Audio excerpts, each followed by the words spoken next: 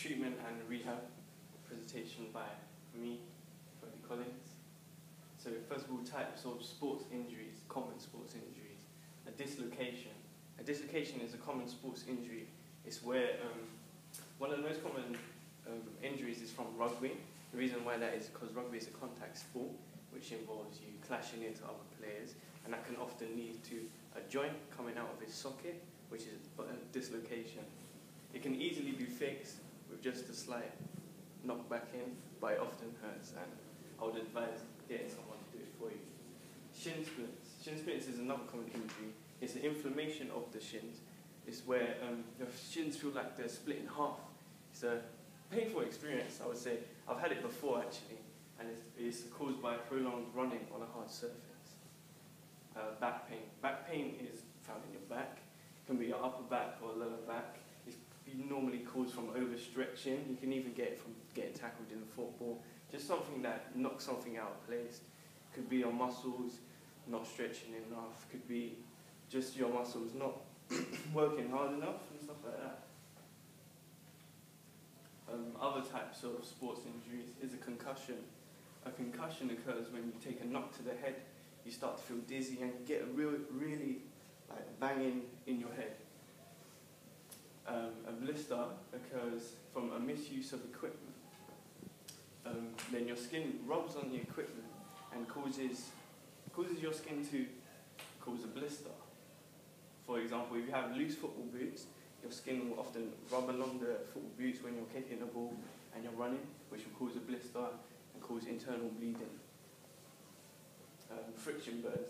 Friction burns occurs when your skin is rubbed against the surface, which causes friction we all know how friction works is when two forces rub against each other.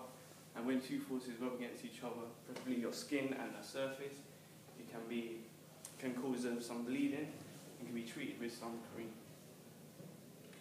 Um, first aid. First of all, you need to get your priorities straight. So if someone's injured or if you're injured, you first of all you need to stop what you're doing, so you're able to stop and be calm. Um, res- resuscitation. Resuscitation. Resuscitation, commonly known as CPR, is a way of helping someone regain consciousness. Can often be performed on other people. Um, shock. If a patient is shocked, you need to calm them down, tell them not to panic. Shock is a um, is a way. If say if you get concussion or if you get a nasty tackle in football, you can get shock. Shock um, will cause you to shut down and can often lead to like maybe death even. Um, bleeding, if a patient is bleeding or if you're bleeding, you'll need to contain the blood. So probably putting maybe a plaster or a bandage on it. Um, unconscious casualty. If your patient is unconscious, you need to put them in the recovery position. Fractures. If the person has a fracture, you need to call an ambulance so they can get treatment because there's no point treating it with just a bandage. You need to get professionals to help you prevention of infection. If there is an open wound, you'll need to clean the wound and clean the surrounding area so that no other germs or infections can happen and cause your body to be harmed. Um, summon qualified assistant. Ask for someone that's had first aid experience because there's no point finding someone that's had no first aid experience. It will be a really shock. It will be a shock to them. But if someone's that has had a first aid experience before, they can help you and assist you um, accident report forms. Produce an accident report form to cover yourself and say that you you've done all the best you can for the patient so that no one can say anything to you. Um, common treatment. PRICE is an anagram of a method of treatment, um, which is protect, rest, ice, compress, elevation, and diagnosed by a professional. So protect, you need to protect the area and the wound which has been hurt uh, rest, you need to rest the wound or the injury so that they can heal. Um, ice, by putting ice on the injury, it will help um, delay inflammation and uh, soothe the pain. Compress, you compress the injury if there's blood leaking, it will help stop blood leaking, which is uh, not really good if you have lots of blood leaking.